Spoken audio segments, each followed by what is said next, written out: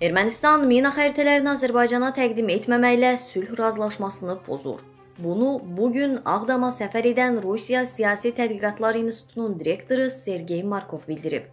Markov deyib ki, mina xəritələrinin Azərbaycana təqdim edilməməsi artıq insan ölümünə gətirib çıxarıb. Mina xəritələrinin təqdim edilməməsinin nəticəsində gələcəkdə daha çox insan həyatını itirə bilər. Əlbəttə, sülh razılaşmasının təşəbbüskarı və qarantı kimi Rusiya Ermənistanın mina xəritələrini təqdim etməsinə çalışacaq. Yəqin ki, həmin mina xəritələri var.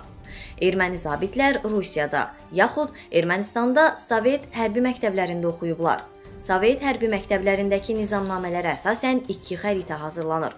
Bu xəritələrdən biri hərbi birliklərə, digəri isə baş qərargaha təqdim edilir. Baş qərargahda saxlanılır.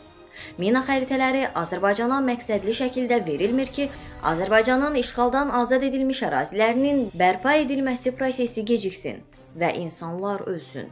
Bu tamamilə qəbul edilməzdir deyə Markov bildirib.